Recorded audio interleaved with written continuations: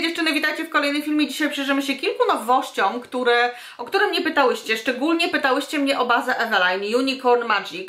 E, nie wiem, czy ta baza powstała na, na wzór trochę Farsali, nie mam pojęcia, bo w sumie Farsali już jest od bardzo, bardzo dawna, a w międzyczasie pewnie powstało mnóstwo baz, między innymi Vibo, które nic nie robiła akurat. Natomiast tą bazę testowała w swoim filmie Maksineczka i mówiła, że jest to baza, która jak się ją nałoży na twarz, jest lepka i powoduje, że podkład lepiej się trzyma. Tak więc ja przetestowałam ją e, przez ostatnie 3 dni, 4, poniedziałek, wtorek, środa i dzisiaj czwartek jak nagrywam, czyli to jest czwarty dzień E, więc Wy to widzicie w piątek, bo ja się starałam jak najszybciej właśnie wypróbować, tak więc poniedziałek przybitka jest w zasadzie tak chyba po około 7 godzinach, bo po prostu więcej nie zdążyłam, bo kiedy zanim ją kupiłam, zanim wróciłam do domu, zmyłam to co miałam na twarzy i nałożyłam ponownie, no to właśnie tak 7 godzin tylko mogłam ponosić, bo już chciałam iść spać, proste. Ale potem wtorek, środa, cały dzień miałam tą bazę właśnie z, z dwoma różnymi podkładami. No i dzisiaj testujemy je z kolejnym podkładem i tym razem e, wzięłam podkład Eveline, ten Wonder Match. Jeszcze go wypróbować, dlatego że wiem jak on się sprawdza.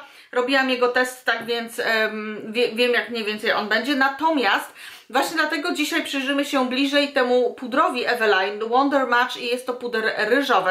Wybrałam puder ryżowy, a nie bambusowy, dlatego że ostatnio jak testowałam paezę puder ryżowy, potem sobie próbowałam bambusowy, to widziałam, że bambusowy nie sprawdza się tak dobrze jak ryżowy. I pomyślałam sobie, że jeżeli z tych dwóch mam wybrać któryś jeden, żeby wypróbować teraz właśnie zanim się ta promocja zacznie, no to właśnie będzie to puder ryżowy. Natomiast w zasadzie tak jak teraz to nagrywam, e, to tak naprawdę nie wiadomo, czy jest się po co śpieszyć z tym testem, dlatego że to nie jest tak, że jutro promocja w Rosmanie, znaczy dzisiaj w zasadzie, e, będzie minus 50% na wszystko, bo z tego co widziałam, to po prostu są wybrane produkty przecenione o różne rabaty, od minus 20, 20 do minus 60%. Nie widziałam, żeby któryś z tych produktów Eveline był przeceniony. Ta baza była przeceniona na 20 zł do 15, tak więc e, podejrzewam, że teraz w tej promocji pewnie ta baza nie będzie. Aha, i jeszcze dzisiaj próbuję też tą nową gąbeczkę z Eveline, tak więc o niej też Wam mówię więcej w trakcie nakładania podkładu. E, tak więc w sumie tak jak teraz myślę, to nie wiem, czy było się po co tak śpieszyć, ale z drugiej strony bardzo mnie pytałyście o to, więc pomyślałam sobie, że czemu nie spróbujemy to zrobić właśnie tak e, szybko. Coś mi tutaj się włosy nie chcą kręcić, prostują się już i w ogóle. Dobra, więc e, to tyle tytułem wstępu. Ja dzisiaj się śpieszę, bo muszę wybiegać w zasadzie niedługo z domu. Lecę zjeść w tej chwili śniadanie. Was zapraszam na um, cały ten proces nakładania makijażu, gdzie trochę więcej Wam mówię właśnie o moich wrażeniach e, z tej bazy. No i będzie całodzienny test standardowo. Na koniec dnia wrócę Wam właśnie podsumować, jak to się wyglądało, wszystko sprawdzało i też pokazać Wam przebitki e, tej, jakby jak się sprawdzały inne podkłady z tym samym pudrem cały czas ale właśnie inne podkłady, natomiast dorzucając tą bazę, czy ona cokolwiek dała, czy ona cokolwiek przedłużyła, czy cokolwiek się zadziało, no i też na koniec dnia zobaczycie właśnie jak e, też będzie wyglądała ta kombinacja, czyli ta baza, e, ten podkład oraz jako nowość właśnie ten puder. Tak więc zapraszam Was dzisiaj na film, e, przechodzimy do nakładania, a ja lecę zajmować się własnymi sprawami. Dzień dobry, dzień dobry. Mamy godzinę 7.36, tak więc czas zacząć dzisiejszy dzień i dzisiejszy test. Ja sobie zepnę włosy do tyłu, żeby chociaż mhm, częściowo mi nie, nie leciały. O, tak lepiej powiedzmy. Więc dzisiaj przyjrzymy się trochę nowościom od Eveline. E, ja już testowałam podkład Eveline Wonder Match. Jest cały duży test na moim kanale. Tak więc jeżeli chcecie zobaczyć właśnie jak on się sprawdza, to tutaj Wam zostawię kartę i tam Was odsyłam. Natomiast dzisiaj przyjrzymy się tak. E, nowemu pudrowi, puder ryżowy. Ja do pudrów ryżowych nie byłam przekonana, dopóki nie wypróbowałam pudru ryżowego z PZ, który mówiłyście, że jest inny niż wszystkie inne i jest naprawdę bardzo dobry i faktycznie potwierdzam, to jest naprawdę bardzo dobry. Ale pomyślałam sobie, że spróbuję właśnie ten puder. Kupiłam też nową gąbeczkę od Eveline, która ma taki śmieszny, ciekawy kształt oraz bazę e, tą Unicorn Drops, którą widziałam u Maksineczki. Maksineczka mówi, że to jest klej do podkładu i ja już ją testowałam, to jest mój czwarty raz, kiedy próbuję tą bazę i ponieważ testowałam już ten podkład i wiem jak on się sprawdza, testowałam już tą bazę i też wiem jak ona się sprawdza, to dzisiaj głównie będę się skupiać na tym pudrze, żeby zobaczyć czy na przykład coś tutaj się innego zadzieje. Ja Wam wstawię przebitki e, potem e, przed e, wieczornym podsumowaniem. Wstawię Wam przebitki właśnie jak ta baza się sprawdzała z innymi takimi standardowymi podkładami, jakich ja używam. Więc zazwyczaj jest tak, że ja biorę sobie nawet nie tyle, że pipetkę, tylko tak o, mniej więcej ze trzy krople tej bazy, bo moim zdaniem więcej po prostu jej nie potrzeba.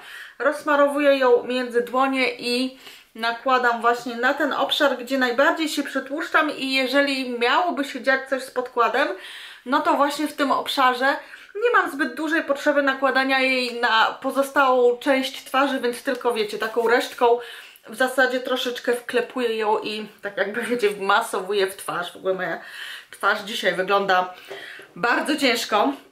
W każdym razie nagrywam tak wcześnie, dlatego że muszę zaraz wyjść. I możliwe, że będzie tak, że ja dzisiaj nie dam rady zrobić przebitki w ciągu dnia i dopiero się do Was odezwę pod koniec dnia, jak wrócę, dlatego że właśnie tak jak mówię, muszę wyjść i może być tak, że właśnie nie będę miała za bardzo jak, chyba, że może po prostu nagram jakoś tak, wiecie, bez głosu, więc dobra, biorę sobie podkład, wycisnęłam dwie pompeczki tego podkładu i ja tą gąbkę już też używałam. I powiem Wam, że Niestety, mi ta gąbka nie odpowiada. Ona jest, mi się wydaje, podobna do tej pomarańczowej gąbeczki z Eveline, natomiast jest bardzo sprężysta. Jeżeli miałabym ją porównać, tutaj też mam mokrą mm, Glam Sponge ten ścięty, on też jest mokry, więc wielkościowo Eveline jest troszeczkę większa. Kształtem bardzo mi odpowiada. Te ścięte wszystkie fragmenty są naprawdę bardzo fajne. Mamy tak, tutaj ścięty fragment, tu, tu, tu, tu mamy dodatkowo, wiecie, czubeczek, więc można spokojnie przy oku dość.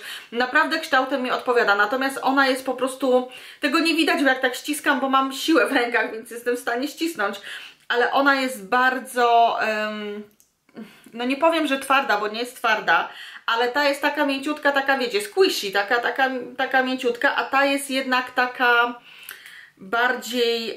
Um, no bardziej, nie wiem, twarda, nie, to nie jest dobre słowo. Jest bardziej sprężysta, jest taka, jakby gąbka jest twardsza, ta gąbeczka jest mięciutka po prostu. Mam nadzieję, że w jakiś sposób Wam to wytłumaczyłam, bo to brzmiało kompletnie po prostu moim zdaniem bez sensu to, co próbowałam powiedzieć. Ale dobra, nakładam ten podkład Eveline. E, ja tak jak mówię, ja już go używałam. On u mnie, jeśli chodzi o utrzymywanie matu, sprawdza się średnio. Ogólnie na mojej skórze dobrze wygląda, ale właśnie no to nie jest podkład, który na przykład dzisiaj normalnie na cały dzień bym nałożyła, szczerze mówiąc. Natomiast, ponieważ testujemy i tak naprawdę zbliża się promocja wielkimi krokami i kiedy Wy to widzicie, to jest piątek, więc ta promocja już się zaczęła. Więc starałam się do Was po prostu jak najszybciej przyjść z wypróbowanymi tymi e, kropelkami oraz tym pudrem I, i ponieważ ja to kupiłam w poniedziałek, no to nie miałam, słuchajcie, zbyt dużo czasu, żeby to wypróbować a y, chciałam to właśnie w jakiś sposób y, wyprób, y, no wiecie, przetestować na różne sposoby, tak więc w zasadzie skupiłam się na testowaniu tych kropelek, żeby zobaczyć, czy one w ogóle cokolwiek dają, czy nie. A ten puder pomyślałam, że właśnie w takiej kombinacji on też powinno, to jakby też powinno mi dać informację, czy ten puder się będzie sprawdzał, czy nie. E, jeśli chodzi o tą gąbeczkę, nie wiem, czy będziecie słyszeć, jakie ona dźwięki wydaje. Teraz ta. Więc jakby no, ta gąbeczka jest taka, że tak wiecie, można się nią troszeczkę pobić po twarzy i ona jest, no jest taka trochę bardziej twarda, taka firm, kiedy ta jest squishy, ta jest firm, tak bym to określiła. Nie wiem, czy są jakieś fajne, dobre określenia na, na właśnie e, twardość gąbeczki, czy na sprężystość gąbeczki, czy coś w tym stylu. Jako korektor akurat używam po prostu pierwszego z brzegu, który mam na wierzchu. W tej chwili mam na wierzchu korektor Boeing, bo, bo tak, bo sobie go wyciągnęłam po prostu ostatnio. Więc biorę ten korektor, biorę pędzelek z Zoewy i pędzelkiem nałożę sobie korektor. No a teraz właśnie tym czubeczkiem jestem w stanie tutaj troszeczkę dojść i tak wiecie, delikatnie jeszcze doklepać, aczkolwiek nie ścisnę jej tak jakoś bardzo mocno żeby e, dojść tutaj e, przy, wiecie, wewnętrznym kąciku. Widziałam, że Maxi w swoim filmie e, wiecie, wystosowała taką prośbę do Eveline, żeby zrobili małe gąbeczki, więc kto wie, może zrobią. Ja akurat małych nie używam. Mam jednego małego takiego mini beauty blenderka, którego kiedyś chyba dawno temu w Sephora Play dostałam w Stanach Zjednoczonych, ale go nie używam. Więc nawet jakby były małe gąbeczki, to nie sądzę, żebym je w ogóle kupiła. Więc dobra, teraz czas na puder. Ja już tutaj sobie go poodklejałam, po, wiecie, po, pootwierałam, żeby nie było problemu. Mamy pojemność 6 gramów. Puder kosztuje... Puder w regularnej cenie w Rosmanie kosztuje 26,99. Gąbeczka, o ile się nie mylę. Nie wiem, czy teraz mi się uda tak szybko ją znaleźć, bo ja nawet też nie mam pojęcia, czy ona ma jakąś nazwę. Tutaj mam opakowanie Magic Blender, ok. I ta gąbeczka według e, tutaj e, strony, co prawda kolor ma trochę inny, bo ma taki bardziej fioletowy, kosztuje 28,99, kiedy ta pierwsza pomarańczowa według strony kosztowała 22, natomiast pamiętam, że ona chyba ogólnie można było dostać za około 15. I powiem Wam, że prawie 30 zł za tą gąbkę moim zdaniem jest ceną zbyt wysoką. Dla mnie ona jest po prostu zbyt twarda, zbyt taka... Mm, no zbyt twarda. Wydaje mi się, że nie będę tu szukać innego słowa. Zdecydowanie bardziej wolę gąbeczkę właśnie od ym, z Glam Shopu, bo jednak no nie czuję, że mi się tak biła strasznie po twarzy jak właśnie tamtą.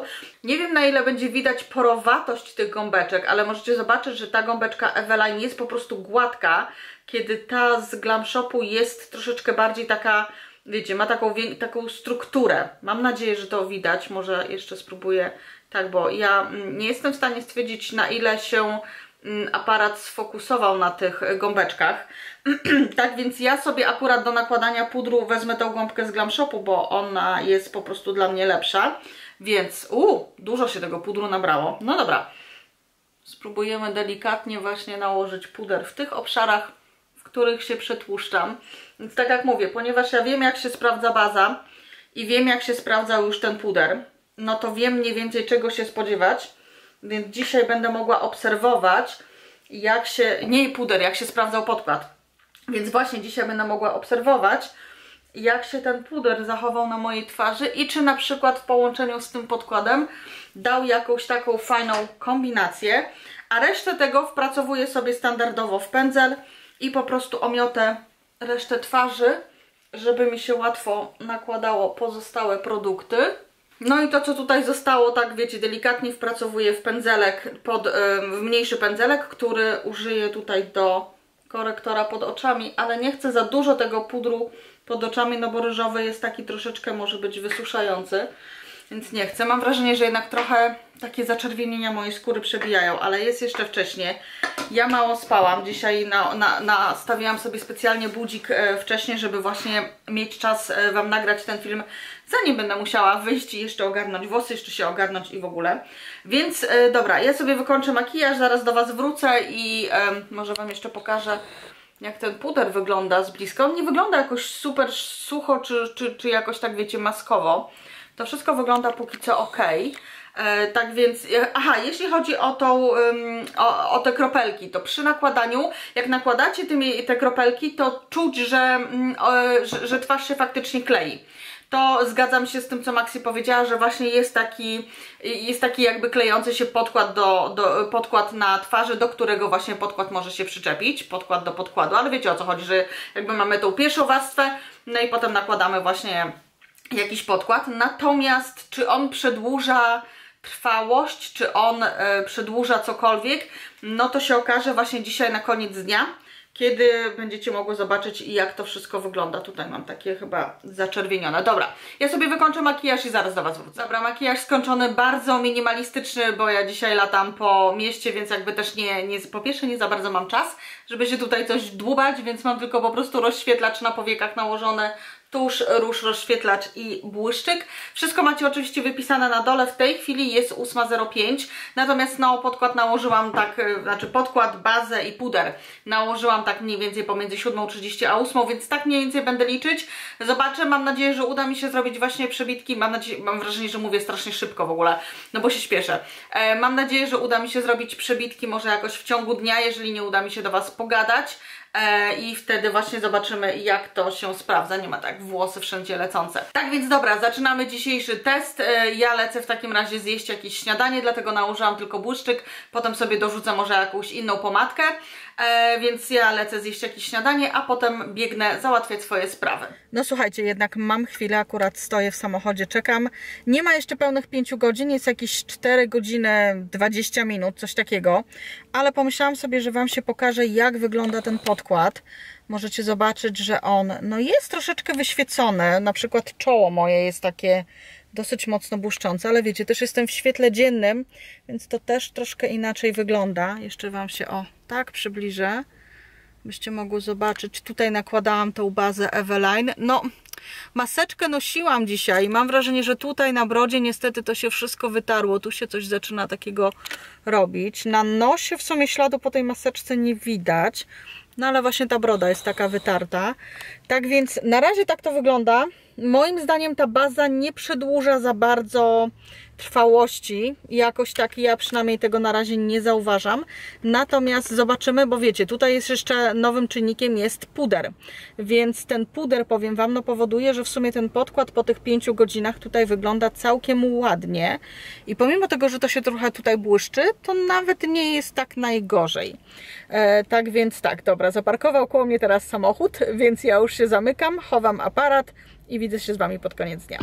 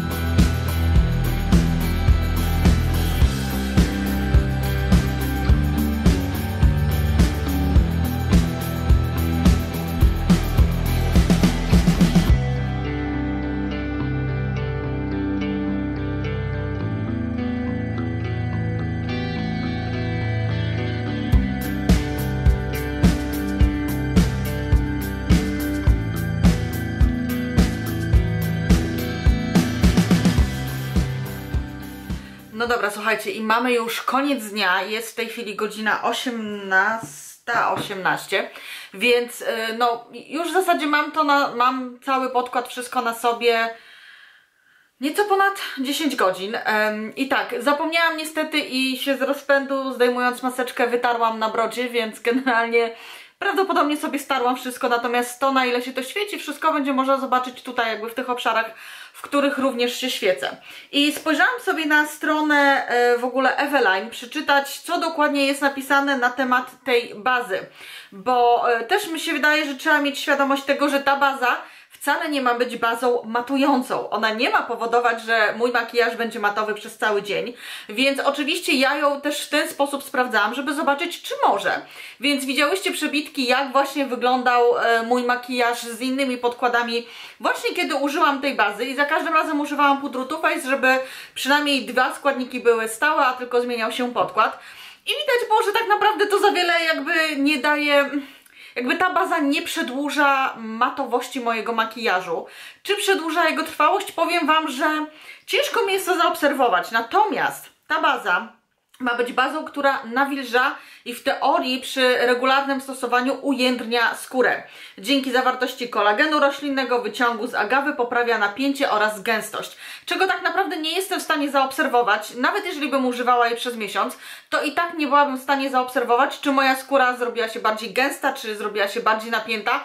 To jest po prostu coś, czego ja bym nie była w stanie ocenić. Um, zapobiega szkodliwemu działaniu wolnych rodników, odmładza, działa przeciwzmarszczkowo. Znowu, to są takie rzeczy, których ja nie jestem w stanie sprawdzić i nie mogę namacalnie potwierdzić, czy faktycznie ona tak działa, czy nie. Kosmetyk widocznie niweluje zaczerwienienia, chroni naturalny mikrobiom skóry, vegan friendly. Znowu, E, czy widocznie zredukował zaczerwienienia moje rano? Mm, znaczy tak, ja nie miałam takich zaczerwienień typu zaognień skóry, więc tego nie można było zaobserwować, chociaż wydaje mi się, że wręcz moja skóra zrobiła się trochę bardziej czerwona po jego nałożeniu, ale to też może wynikać na przykład z tego, że po prostu pocieram skórę, więc jakby krążenie dochodzi było rano i tak dalej. Tak więc powiem Wam tak, czy ja bym się rzucała na tą bazę serum? Niekoniecznie. Moim zdaniem to nie jest jakiś super turbo zarąbisty produkt raczej po prostu od taka baza, ona, czy ona ma jakiś zapach, właśnie zapomniałam w ogóle, ma taki słodkawy, delikatny zapach, czy jakiś duszący, czy, czy coś, nie wiem, powiem Wam szczerze. Już po całym dniu mam takie włosy oklepnięte, że nie mogę patrzeć, a chciałam powiedzieć, że wczoraj wieczorem przed pójściem e, spać umyłam je, tylko właśnie rano pokręciłam, żeby już rano nie musieć ich suszyć. Ale mniejsza o to, tylko po prostu widzę, że są takie tutaj przyklapnięte. E, dalej, podkład e, wiedziałam jak się będzie zachowywał i wiedziałam, że za dużo jakby nie mogę oczekiwać. Jakby się okazało, że na przykład byłby matowy przez cały dzień, to byłabym w niebo wzięta, ale wiedziałam, że raczej tak nie będzie, dlatego że no to jest podkład, który na mojej skórze po prostu niezbyt dobrze się sprawdza.